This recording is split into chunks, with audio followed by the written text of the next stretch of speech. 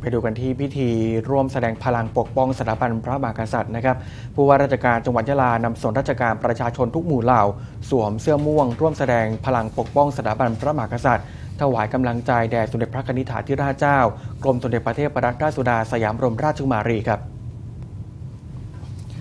ที่บริเวณวงเวียนศาลเจ้าพ่อหลักเมือง หน้าสารากลาง จังหวัดยะลานามพลพงสุวรรณผู้ว่าราชการจังหวัดยะลา นำส่วนราชการนักเรียนนักศึกษาและประชาชนกว่า 1,000 คนร่วมกิจกรรมรวมแสดงพลังความจงรักภักดีแด่สมเด็จพระนิธิถาธิราชเจ้า กรมสมเด็จพระเทพรัตนราชสุดาสยามบรมราชกุมารี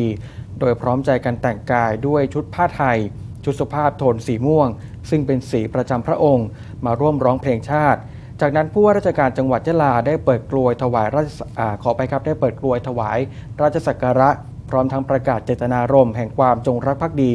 และนำผู้เข้าร่วมร้องเพลงสรรเสริมพระบารมีเพลงสดุดีจอมราชันเสียงดังอย่างกึกก้อง ทั้งนี้จังหวัดยะลาได้เชิญชวนให้ประชาชนทุกหมู่เหล่า ร่วมกิจกรรม รวมพลังแสดงความจงรักภักดี แด่สมเด็จพระกนิษฐาธิราชเจ้า กรมสมเด็จพระเทพรัตนราชสุดาสยามบรมราชกุมารี และถวายสัตย์ปฏิญาณ ชาวยะลา จะเทิดทูนและรักษาไว้ ซึ่งพระบรมเดชานุภาพ แห่งพระมหากษัตริย์เจ้า จะรักษาไว้ซึ่งการปกครองระบอบประชาธิปไตย อันมีพระมหากษัตริย์ทรงเป็นประมุขจะปกป้องและรักษาไว้ ซึ่งสถาบันพระมหากษัตริย์ และพระเกียรติยศแห่งพระบรมวงศานุวงศ์ทุกพระองค์ จะไม่ยอมให้ผู้ใดมาก้าวล่วง คิดคดทรยศต่อแผ่นดินและราชบัลลังก์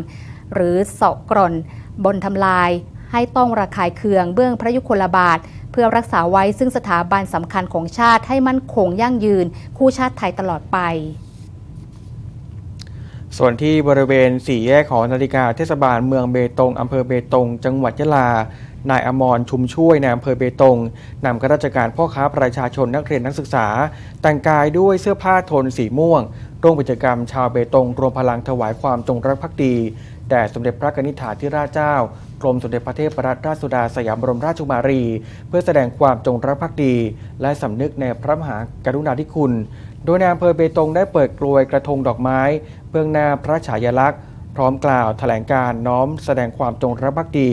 จากนั้นผู้เข้าร่วมกิจกรรมได้ร่วมกันร้องเพลงสรรเสริญพระบารมี และเปล่งเสียงทรงพระเจริญดังกึกก้องไปทั่วบริเวณ พร้อมโบกธงสีม่วง แสดงความจงรักภักดี และซาบซึ้งในพระมหากรุณาธิคุณ ที่ทรงมีต่อประสบนิกรชาวไทยเสมอมานายอำเภอเบตงกล่าวว่าสมเด็จพระกนิษฐาธิราชเจ้ากรมสมเด็จพระเทพรัตนราชสุดาสยามบรมราชกุมารี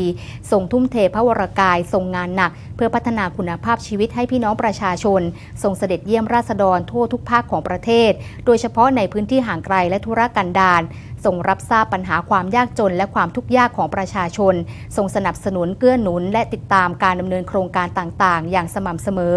สำหรับอำเภอเบตง พระองค์ได้เสด็จเยี่ยมประสบนิกรมาแล้วหลายครั้ง และเสด็จเยี่ยมโครงการสวนไม้ดอกเมืองหนาว ในหมู่บ้านเปียมิตรสองตำบลตะเนาะแมเราะ ซึ่งเป็นโครงการในพระราชดำริของพระองค์ท่าน ที่ปัจจุบันกลายเป็นสถานที่ท่องเที่ยว และสร้างรายได้ให้กับชาวบ้านในพื้นที่ค่ะ